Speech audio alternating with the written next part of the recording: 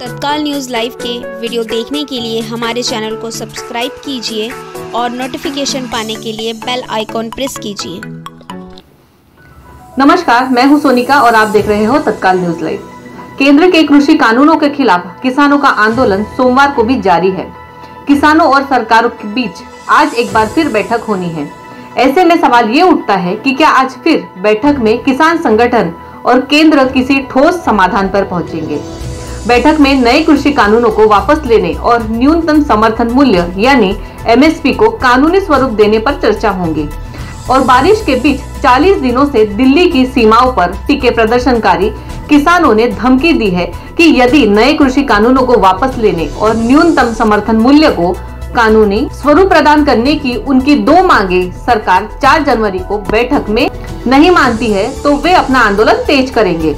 बुधवार को हुई पिछली बैठक में पराली और बिजली संशोधन बिल पर किसानों और केंद्र के बीच सहमति बनी थी। पिछले बैठक में चार मुख्य मांगे थी, जो लिखित में सरकार के सामने रखी गई। उसमें से दो सरकार ने मान ली।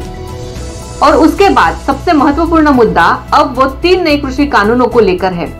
आज मुख्य दौर पर दो मुद्दों पर केंद्रित होगा पहले जो किसान संगठनों की तरफ़ से मांग की गई है कि तीनों नए कृषि कानूनों को वापस लिया जाए और दूसरा एमएसपी की कानून लीगल गारंटी है।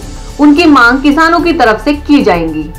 वहीं दूसरी तरफ़ राजस्थान हरियाणा बॉर्डर पर किसानों पर खुलेआम गोलियाँ चलाई गई। पिछले 40 दिनों से हमारे देश के किसान देश के अलग अलग सीमाओं पर डटे हैं और उनकी मांगे मानने की बजाय सरकार उन पर गोलियाँ बरसा रही है।